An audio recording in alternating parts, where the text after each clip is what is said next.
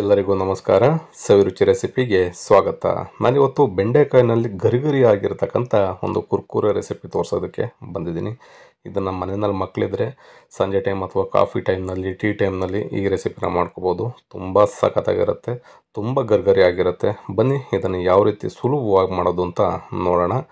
ನಾನು ಅರ್ಧ ಕೆ ಜಿಯಷ್ಟು ಬೆಂಡೆಕಾಯಿನ ತೊಗೊಂಡಿದ್ದೀನಿ. ಈ ಬೆಂಡೆಕಾಯಿನ ನಾವು ಸ್ವಲ್ಪ ತುದಿನ ಕಟ್ ಮಾಡಿ ನಾಲ್ಕು ಭಾಗಗಳಾಗಿ ಉದ್ದಕ್ಕೇ ಸೀಳ್ಕೋಬೇಕಾಗತ್ತೆ. ನಾನು ನೋಡೀಗ ತೋರಿಸ್ತಾ ಇದ್ದೀನಿ. ಈ ರೀತಿ ನಾಲ್ಕು ಭಾಗಗಳಾಗಿ ಒಂದು ಬೆಂಡೆಕಾಯಿನ ಉದ್ದಕ್ಕೆ ಕಟ್ ಮಾಡ್ಕೋಬೇಕು. ಈ ರೀತಿ ಎಲ್ಲದನ್ನು ನಾನೀಗ ಕಟ್ ಮಾಡಿ ಒಂದು ಪ್ಲೇಟ್ಗೆ ಸೇರಿಸ್ಕೊಳ್ತೀನಿ ಈ ಒಂದು ರೆಸಿಪಿಯನ್ನು ನೀವು ಸಂಜೆ ಟೈಮ್ ಕಾಫಿ, ಟೀ ಟೈಮ್ನಲ್ಲಿ ಮಾಡ್ಕೊಂಡ್ರಂತೂ ತುಂಬ ರುಚಿಯಾಗಿರುತ್ತೆ. ಮತ್ತು ಮನೆಯಲ್ಲಿ ಮಕ್ಳುಗಳಿದ್ರೆ ತುಂಬ ಇಷ್ಟಪಟ್ಟು ತಿಂತಾರೆ. ತುಂಬ ಖಾರ ಅನಿಸಲ್ಲ. ತುಂಬ ಸ್ಪೈಸಿನೂ ಇರಲ್ಲ. ಗರ್ಗರಿಯಾಗಿ ಕರ್ಮ ಕರ್ಮ ಅಂತ ಇರುತ್ತೆ. ಅಷ್ಟು ರುಚಿಯಾಗಿರುತ್ತೆ. ನೋಡಿ, ಈಗ ನಾನು ಎಲ್ಲ ಬೆಂಡೆಕಾಯಿನೂ ಈ ರೀತಿ ನಾಲ್ಕು ಭಾಗಗಳಾಗಿ ಕಟ್ ಮಾಡಿ ಇಟ್ಕೊಂಡಿದ್ದೀನಿ. ಈಗ ಒಂದು ಬೌಲ್ನ ತೊಗೊಂಡು ಬೆಂಡೆಕಾಯಿನ ಅದಕ್ಕೆ ಸೇರಿಸ್ಕೊಳ್ಳೋಣ. ಇದಕ್ಕೆ ಯಾವುದೇ ಕಾರಣಕ್ಕೂ ನೀರನ್ನ ನಾವು ಬೆರೆಸೋದಕ್ಕೆ ಹೋಗಬಾರ್ದು. ಈಗ ರುಚಿಗೆ ತಕ್ಕಷ್ಟು ಉಪ್ಪನ್ನು ಸೇರಿಸ್ಕೊಳ್ತಾ ಇದ್ದೀನಿ.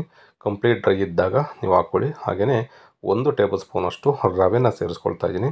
ಇವೆರಡೂ ಹಾಕ್ಕೊಂಡು ಅದರಲ್ಲಿರ್ತಕ್ಕಂಥ ಲೋಳೆ ಅಂಶ ಏನಿದೆ ಅದಕ್ಕೆ ನೀಟಾಗಿ ಅಂಟ್ಕೋಬೇಕು. ಆ ರೀತಿಯಲ್ಲಿ ಚೆನ್ನಾಗಿ ಮಿಕ್ಸ್ ಮಾಡ್ಕೊಳ್ಳಿ.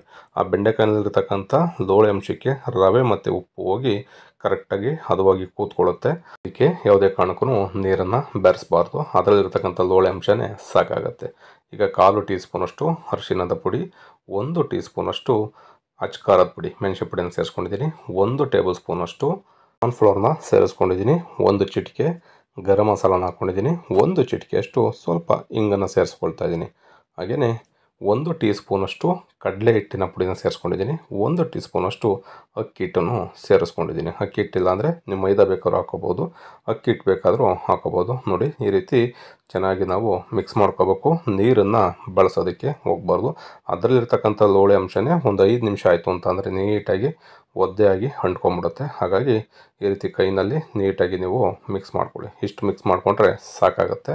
ಅದಾದಮೇಲೆ ನಾವು ಎಣ್ಣೆನ ಕಾಯಲಿಕ್ಕೆ ಇಟ್ಕೋಬೇಕು. ಎಣ್ಣೆ ಮೀಡಿಯಮ್ ಆಗಿ ಚೆನ್ನಾಗಿ ಕಾಯಬೇಕು. ಕಾದ ನಂತರ ನಾವು ಇದನ್ನು ಸೇರಿಸ್ಕೋಬೇಕಾಗುತ್ತೆ. ಎಣ್ಣೆ ಕಾಯ್ದೇ ಸೇರಿಸಿದ್ರೆ ನಿಮಗೆ ಎಣ್ಣೆ ಜಾಸ್ತಿ ಕುಡಿಯುತ್ತೆ. ಹಾಗಾಗಿ ಎಣ್ಣೆ ಚೆನ್ನಾಗಿ ಬಿಸಿ ಆದಮೇಲೆ ಈ ರೀತಿ ಸೇರಿಸ್ಕೊಳ್ಳಿ. ಅದಾದಮೇಲೆ ನೀವು ಮೀಡಿಯಮ್ ಫ್ಲೇಮ್ಗೆ ಇಟ್ಕೊಂಡು ಒಂದು ನಾಲ್ಕರಿಂದ ಐದು ನಿಮಿಷಗಳ ಕಾಲ ಗರ್ಗರಿ ಆಗಬೇಕು. ಅಲ್ಲಿವರೆಗೂ ಕಡಿಮೆ ಉರಿನಲ್ಲೇ ಬೇಯಿಸ್ಕೊಳ್ಳಿ. ನೀವು ಜಾಸ್ತಿ ಉರಿ ಕೊಟ್ಬಿಟ್ರೆ ರವೆ ಎಲ್ಲ ನಾವು ಸೇರಿಸಿರೋದ್ರಿಂದ ಕಪ್ಪಾಗ್ಬಿಡುತ್ತೆ ಮತ್ತು ಸೀದೋಗ್ಬಿಡುತ್ತೆ. ಹಾಗಾಗಿ ಕಡಿಮೆ ಉರಿನಲ್ಲೇ ಒಂದು ನಾಲ್ಕರಿಂದ ಐದು ನಿಮಿಷಗಳ ಕಾಲ ಗರ್ಗರಿಯಾಗಿ ನೀವು ಬೇಯಿಸ್ಕೋಬೇಕಾಗತ್ತೆ. ನಿಮಗೆ ಗೊತ್ತಾಗುತ್ತೆ, ಒಂದನ್ನು ತೆಗೆದು ನೀವು ನೋಡಿದ್ರೆ ಗರ್ಗರಿ ಆಗಿದೆಯಾ ಇಲ್ವಾ ಅನ್ನೋದು ಅಲ್ಲೇ ಗೊತ್ತಾಗುತ್ತೆ. ಆ ಟೈಮಲ್ಲಿ ಗರ್ಗರಿ ಆದಮೇಲೆ ನೀವು ಈ ರೀತಿಯಲ್ಲಿ ತೆಗೆದು ಒಂದು ಪ್ಲೇಟ್ಗೆ ಸರ್ವ್ ಮಾಡ್ಕೊಳ್ಳಿ.